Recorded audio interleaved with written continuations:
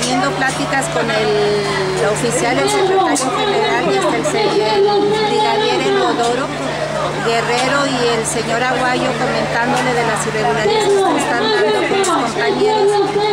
Hay compañeros que hacen funciones administrativas, tenemos el caso de un odontólogo que empasta, arregla dientes y lo están O sea, tenemos el compañero, el caso de otro compañero que tuvo un riesgo de trabajo y que quedó mal de su mano y de su ojo y lo están mandando a operativos, en donde ya fue dado como discapacitado por el IMSS y por el propio Servicio de Gobierno del Estado y lo están dando de, este, de eh, ha habido represión con los compañeros, o sea, porque había un asunto en donde los compañeros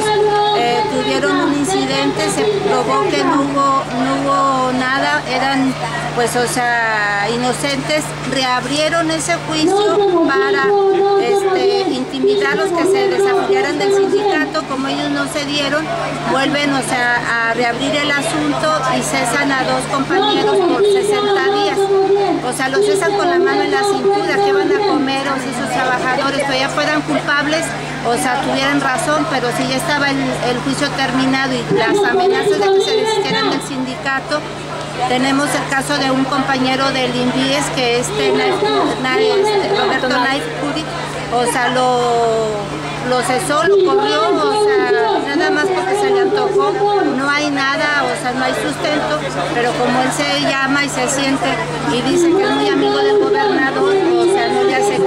Aquí, o están vulnerando los derechos de los trabajadores, o sea, a los trabajadores que no se, que no se resisten del sindicato, los están amenazando, mandándolos, por ejemplo, a Valles, los de Valles los mandan a, a San Luis, de Tamazunchale, a Salinas, y hacen funciones administrativas, no operativas, entonces ponen en riesgo a la ciudadanía trabajador. Sí, de, hecho esto también no nada más los ponen ellos en riesgo por no saber hacer las cosas, sino a, la ciudadanía,